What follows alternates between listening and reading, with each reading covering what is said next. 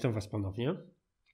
W dzisiejszym odcinku chciałbym Wam pokazać e, parę ciekawych, bardzo przydatnych e, sztuczek. Może nie dla wszystkich początkujących użytkowników Lightrooma one są znane, dlatego chciałbym Wam pokazać parę takich opcji, które może Wam się przydadzą jako początkującym um, użytkownikom tego programu. Może ułatwią Wam pracę, może przyspieszą, może rozwiążą też parę Waszych problemów, bo zauważyłem, że niektórzy mają problem z użytkowaniem niektórych opcji i po prostu potrafią na nich utknąć na wiele godzin.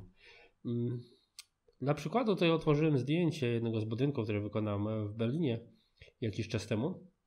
Może sobie właśnie na nim popracujemy i pokażę Wam, jak to wszystko działa. E, pierwszą opcją, której chciałbym Wam powiedzieć, ważną, a szczególnie dla osób, które zaczynają pracę z Lightroomem, najczęściej oni pracują na małych monitorach, na laptopie, y, małych ekranach, które nie pokazują wszystkiego i jeżeli tutaj mamy opcję zmiany mm, różnych, y, nie wiem, elementów y, fotografii, czy zmiany, tak jak tutaj w tym przypadku krzywych, podbicia kontrastu, czy zmiany kolorystyki, musimy skrolować w dół. To jest troszeczkę uciążliwe, często to się nam zawiesza, czy to, to stopuje, mm, program nam przestaje reagować, to troszeczkę zaczyna nas denerwować. Jak sobie z tym poradzić? Jeżeli pojedziemy na samą górę i tu w przypadku podstawowych opcji naciśniemy prawy klawisz myszki, ja teraz to klikam, uruchamiamy y, opcję Solo Mode. Teraz zobaczycie jak to wygląda. O, i w tej chwili, jeżeli mam kliknięty tutaj Basic, tylko te opcje są tutaj widoczne. Skroluję troszeczkę niżej. Te wszystkie w drzewku są tutaj zamknięte. Więc jeżeli zdecyduję się w tej chwili na przykład na e, pracę nad kolorami, klikam na tą tutaj działkę z kolorami i pojawi nam się tylko, otworzy tylko ten panel. Reszta zostanie zamknięta, czyli ten panel Basic, który był tutaj w topie otwarty, on się automatycznie zamknie. W tej chwili załóżmy zdecyduję na pracę na krzywych, klikam na krzywe, pojawia się panel z krzywymi, reszta zarówno ten Basic, basic który był pierwszy otwarty, jak i panel do zarządzania kolorami automatycznie zostanie zamknięty. To umożliwia nam łatwiejsze przechodzenie z kroku na krok, y, żeby sobie podzielić na jakieś wygodne etapy, co zamierzamy zrobić z danym zdjęciem, a przy okazji zmniejsza użycie zasobów y, komputera, więc na wolniejszych komputerach, na laptopach oferuję, żeby było, y, żebyście używali tej opcji, bo jest naprawdę świetna. Następna opcja, którą chciałbym Wam pokazać, ja sobie to zamknę, znaczy otwarty jest tutaj ten histogram. Y, zwróćcie na to zdjęcie. Y, na zdjęciu jest troszeczkę niedoświetleń, troszeczkę może za jaśnych obszarów, żeby sprawdzić, czy coś jest doświetlone lub niedoświetlone. W histogramie mamy takie dwa trójkąciki po lewej, po prawej stronie. Jeżeli klikniemy tutaj ten, żeby zaznaczyć, on się też poświeci troszeczkę w takiej białej ramce. Wtedy będzie nam pokazywał na niebiesko te elementy, które są niedoświetlone. Na przykładu teraz zjadę tutaj do ekspozycji, może troszeczkę ją przesunę teraz w lewo, zobaczycie. Pojawiają się teraz zasygnałowane miejsca, które są mocno niedoświetlone, w których praktycznie już jest brak informacji. Najczęściej to jest po prostu czarna plama. I musimy się starać tak zrobić, żeby nie było tej czarnej plamy. Jeżeli klikniemy teraz tutaj w prawym górnym rogu histogramu Drugi trójkąt będzie nam pokazywał miejsca prześwietlone. Miejsca prześwietlone będą się pokazywały na czerwono. Przyjadę teraz w drugą stronę. Zauważcie, teraz tutaj się pojawiają czerwone plamy informujące o tym, że zdjęcie jest prześwietlone. Teraz to wyzeruję. Jeszcze raz pokażę, można włączyć, wyłączyć tę opcję klikając w trójkąty góry. Możemy obydwa naraz wyświetlić, włączyć tą opcję klawiszem J. J jak jabłko. Uruchamiamy, wyłączamy. Uruchamiamy, włączamy. Proponuję to mieć e, zawsze włączone na początku, gdyż często w toku naszych tutaj zmian, nawet jak teraz w tej chwili, ani nie jest prześwietlone, ani nie jest niedoświetlone, może się tak zdarzyć, że któraś z opcji, którą tutaj uruchomimy, spowoduje nagłe, drastyczne zmiany w zdjęciu i warto by było to kontrolować. Następna opcja która myślę, że jest dość ważna i dość ciekawa w przypadku robienia jakichś zmian. Często na wolnych komputerach na laptopach, na komputerach, które mają mniejsze zasoby. Przy przesuwaniu tych wskaźników tutaj czasem to troszeczkę jakby, jakby zamiera w pewnym miejscu i powoduje u niektórych osób, że przeskakuje albo za bardzo w lewo, albo za bardzo w prawo. Trudno wybrać jakąś taką opcję, powiedzmy delikatną zmianę. Co Wam mogę poradzić? Jeżeli pracujecie na myszce, to jest na to bardzo ciekawe rozwiązanie. Wystarczy no w przypadku na przykład opcji Shadows, czyli cieni, klikamy na ten suwak, w to miejsce właśnie, które będziemy mogli przesuwać prawo-lewo. Znaczy, że tylko raz klikniemy i teraz rolką myszki, kręcąc góra-dół i sobie to delikatnie przesuwamy. Jest to opcja o tyle wygodna, że możemy zrobić zmianę krok po kroku o bardzo małą wartość. Zresztą zobaczcie, delikatne są te zmiany. Łatwiej jest nam to kontrolować. Czyli teraz podbiję troszeczkę cienie, bo jest, jak widzieliście, było troszeczkę za ciemno w tych dalszych partiach budynku. Teraz się mogę skupić na przejaśnieniach tutaj, które są moim zdaniem trochę za ostre światła. Klikam na Highlights, czyli światła, podświetlenia i rolką kręcąc myszkę w dół zmniejszam te prześwietlenia, patrząc oczywiście, żeby też niebo nie było trochę za płaskie.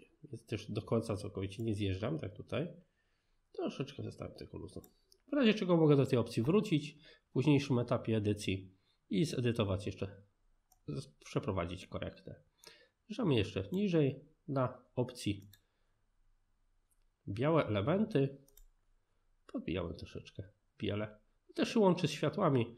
Jeżeli chcemy też podbić trochę światło, możemy podbijać, ale zobaczcie teraz, jeżeli podbijamy trochę za bardzo, przy zaznaczonej tej opcji, tak jak wcześniej mówiłem, z klawiszem J na histogramie, pojawiają się nam teraz informacje o tym, że już troszeczkę jest przepaleń. Za dużo informacji, za, za, za mało informacji już jest w, tej, w tym polu. Już podchodzi pod kolor biały, powinniśmy wrócić z powrotem. Klikam i rolką delikatnie zjeżdżam, żeby nie było za jasno. Samo się tyczy białych, czarnych elementów, czyli cieni wszystkich bardzo mocnych. Zobaczcie, zjeżdżam troszeczkę w dół. Tak jak mówiłem, dobrze mieć tą opcję włączoną. Przy następnych etapach edycji może nam się pojawić właśnie ostrzeżenie o tym, że może być trochę za ciemno. Wracam z powrotem, żeby nie przedobrzyć. Opcja Clarity, ja tu często ją w krajobrazach niskich podbijam delikatnie, nie za dużo. Daje no, taki ciekawy efekt podbicia troszeczkę kontrastu lokalnego i szczegółów na budynkach, asfalcie, kostce brukowej. Świetnie to wygląda. Ścianie z kamieni, ścianie z cegieł. Bardzo polecam. Jeśli chodzi o opcję Vibrance Saturation, te dwie opcje są bardzo ciekawe w podbijaniu kolorystyki. Starałbym Wam się raczej wytłumaczyć, żeby tej saturacji raczej nie podbijać. Daje to nienaturalny efekt kolorystyczny, to Wam pokażę. Podbijając saturację najczęściej wychodzi bardzo dużo takich soczystych kolorów. Wiem, że niektórzy są fanami przesaturowania zdjęć. Wiem, że niektórzy lubią takie wręcz e, nienaturalne, bajkowe kolory, ale starajcie się tego unikać. Zachowujcie raczej naturalne barwy fotografii. Starajcie się odzorowywać realizm fotografii i idźcie w te bajkowe kwestie. Więc wyzerujemy to. Można, jeszcze tutaj wrócę do opcji, jak to można jeszcze wyzerować bardzo szybko lub dodać jakąś dodatkową wartość. W przypadku zjeżdżamy saturację tutaj, możemy tutaj kliknąć myszką i wprowadzić z klawiatury po prostu wartość. W tym przypadku, jeżeli chcę wyzerować, daję 0, szybko i Enter. Wracamy do sytuacji, jaka była jakiś czas temu. I jeszcze jedna opcja do zerowania. Przyjeżdżamy jakąś wartość w przypadku tego Clarity. Chcemy szybko wzerować na nazwę tej opcji. Klikamy dwa razy myszką i jest 0. W przypadku Vibrance, podbijając tutaj soczystość, możemy nawet tak powiedzieć, kolorów, dzieje się to o wiele naturalniej i delikatniej niż w przypadku saturacji. Natural, bardziej naturalne są barwy, łatwiejsze do odbioru dla oka i mniejsze takie poczucie, że może to jest za, zbyt bajkowe, zbyt nienaturalne, więc starajcie się w pierwszej kolejności tego tutaj użyć. Jeżeli jest to zdjęcie, może sprane z kolorów i nie wygląda trochę za ładnie, lekko sobie podbić kolorystykę. Bierzemy teraz następne. Krzywe. Bardzo ciekawe narzędzie. Tym będziemy mogli podbić kontrast. Hmm. Bardzo popularną opcją do podbijania kontrastu, żeby zdjęcie nie było za płaskie, żeby było lekko kontrastowe, jest postawienie w centralnym miejscu punktu i stworzenie tego kształtu tutaj przez złapanie myszką i wygięcie w takie niewielką może literkę S. Taki kształt literki S. Zobaczcie się, troszeczkę odgina, odgina tutaj w lewą stronę i w prawą stronę dołu. W tej części znajdują się, tak samo jak na histogramie, cienie, półcienie i później światła.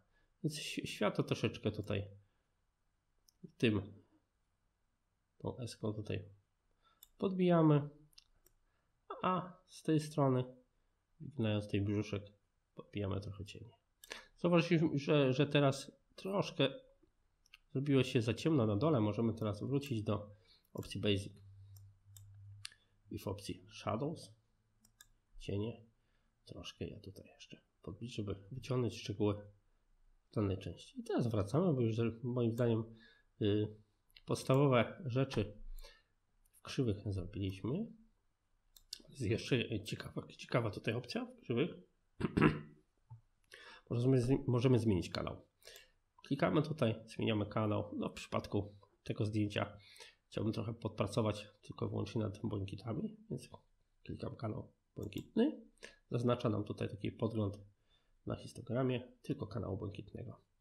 Mogę teraz edytować barwę błękitną. To jest zmieniając jej kontrast oraz zmieniając jej dostęp do zdjęcia. I jakiekolwiek zmiany w danym kanale robią też impact na inne kolory. Oczywiście te wszystkie kolory w profilu RGB mieszają się, czyli mieszane są czerwień, zielony i błękit. Więc jeżeli odejmę trochę błękitu, najprawdopodobniej pojawi się trochę więcej pomarańczy, pojawi się trochę więcej zieleni, więc róbcie to troszeczkę ostrożnie, z wyczuciem, żeby nie wyglądało też nienaturalnie. Zobaczcie, teraz podbijam trochę błękit wszystko się robi takie barwy zimne, takie bardzo chłodne zdjęcie. Wracając w drugą stronę, jadąc w dół, robi się żółte, pomarańczowe, też takie nienaturalne. Zróbcie to też z wyczuciem. W tym przypadku troszeczkę tutaj na światłach podbiję błękitu i troszeczkę w półcieniach. Zobaczcie, delikatnie zejdę, żeby ten asfalt nie był też taki trochę zachłonny za niebieski. Żeby zachować takie proporcje przed bardziej niebem, które jest bardzo ładne, soczyste, niebieskie, a światłami, ciepłymi barwami zachodzącego słońca, które są tutaj w tyle, w tyle budynku, jak i tutaj przedniej ścianie budynku. Zjeżdżamy teraz troszeczkę niżej. Panel świateł, panel kolorów, przepraszam. W tym panelu kolorów możemy zmienić kolorystykę mm, praktycznie wszystkich dominujących y, barw, które znajdują się na zdjęciu. W pierwszej e, pozycji zmienić możemy całkowicie ton, czyli na przykład błękit dać bardziej fioletowy, czy może wchodzący troszeczkę w zieleń. A pokażę Wam jak to wygląda. Najłatwiej klikając tutaj na opcję z kółeczkiem dwoma najechanią myczką, myczką pojawiała się opcja kółeczko, dwie strzałki. Klikamy. Teraz na, nasz kursor przenosimy. Chciałbym właśnie zmienić błękit, więc przenosimy na niebo. Klikam, trzymam lewy klawisz myszki i jadąc w dół, zobaczcie, zmienia się kolorystyka nieba. Teraz pojadę troszeczkę w górę i nachodzi w fiolet. Też trzeba znaleźć najlepsze rozwiązanie do tego, żeby te barwy były naturalne. Na przykład jeżeli chciałbym zmienić pomarańcz i żółcień tej tutaj fasady, zmienić jej tonację, mogę zrobić to samo. Klikam. Jadąc w górę, zmienia się całkowicie odcień tego żółtego na fasadzie. On tak wchodzi już taki trochę zielonkawy, taki brudnawy kolor. Jadąc drugą stronę, zobaczcie, pomarańcz, bo nawet prawie że w czerwony. Więc możemy tutaj zmienić też odcień tego odblasku słońca na elewację. Ja to troszeczkę zostawię bardziej pomarańczowe. O, możemy się przełączyć teraz na zakładkę saturację. Czyli możemy teraz zająć się mm, kontrolą przesycenia jakiejś barwy. Jeżeli uważamy, że niebo nasze jest za bardzo przesycone, za bardzo niebieskie, aż razi w oczy, natomiast reszta zdjęcia jest ok, to skupiamy się tylko na tym niebieskim.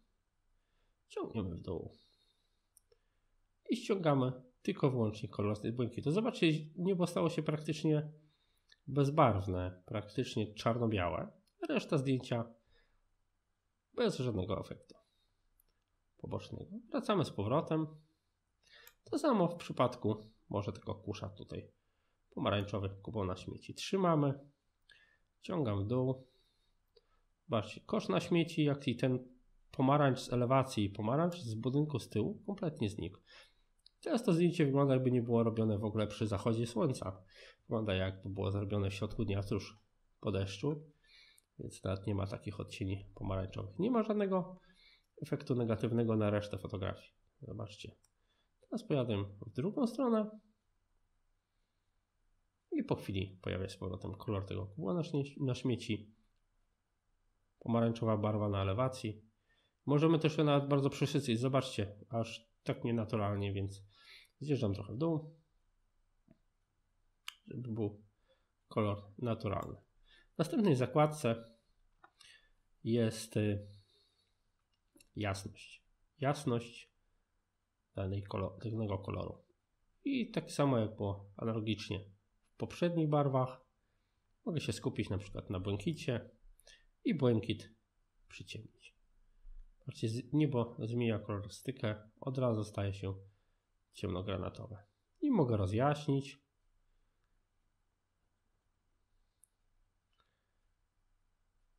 Aż do jasno-niebieskiego.